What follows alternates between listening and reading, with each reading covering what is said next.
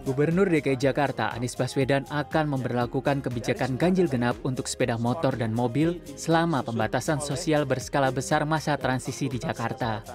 Adapun Direktur Lalu Lintas Polda Metro Jaya, Kombes Sambodo Purnomo Yogo menyatakan, berdasarkan koordinasi dengan Dinas Perhubungan Darat, pada masa PSBB transisi, ganjil genap belum diberlakukan hingga tanggal 12 Juni 2020 mendatang.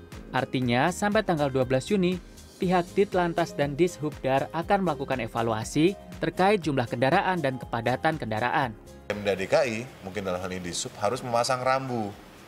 Rambu dan menentukan dalam suatu perda khusus eh, ruas-ruas jalan mana yang eh, gage untuk sepeda motor ini diberlakukan. Nah, barulah kemudian polisi bisa melakukan penindakan, eh, yaitu dengan penindakan pelanggaran eh, rambu.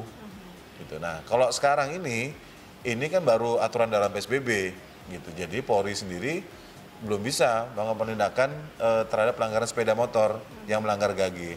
Sedangkan untuk sanksi kendaraan roda 2, seperti yang tertulis dalam Peraturan Gubernur Nomor 51 Tahun 2020, Sambodo menyebut pergub tersebut harus diubah menjadi peraturan lalu lintas terlebih dahulu. Tim Liputan CNN Indonesia.